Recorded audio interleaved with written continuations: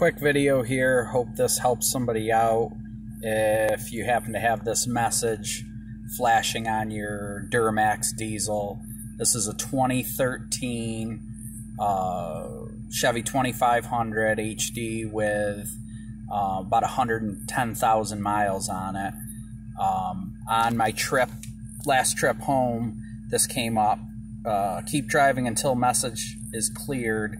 Uh, cleaning exhaust filter. Um, so I kept driving down the. I was on the New York State Thruway.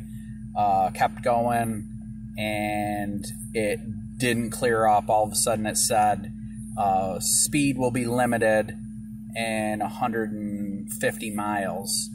Well, I turned around, started heading back towards home, and truck went into limp mode. It would only do about 20, 30 miles an hour. Um, pulled over, uh, shut the vehicle off, cycled the key a couple times, and it got going down the road again, went into limp mode again.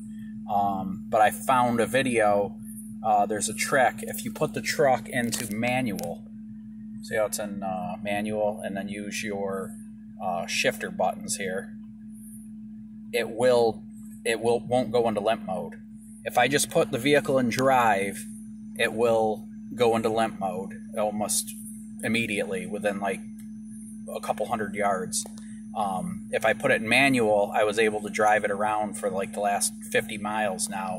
I was trying to get this to clear.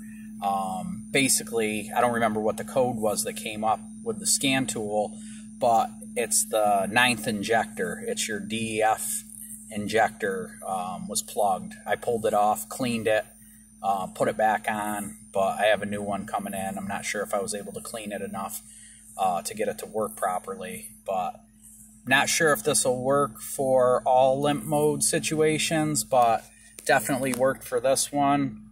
Run the truck in manual and, uh, and just shift it manually. You'll be all set. Again, when it goes into limp mode, pull over, uh, turn the vehicle off, cycle the key three to four times, put it in manual, and it'll get you home. Hope this helps. Thanks. Like, subscribe. Have a good one.